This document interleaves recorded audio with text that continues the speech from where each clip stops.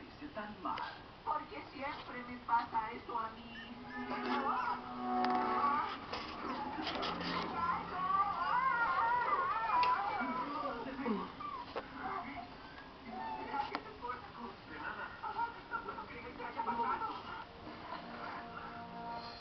¿Necesitan ayuda, chicos? Hola, Inea.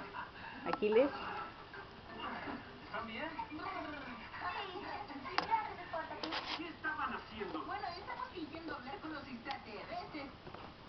Coman los zapatos.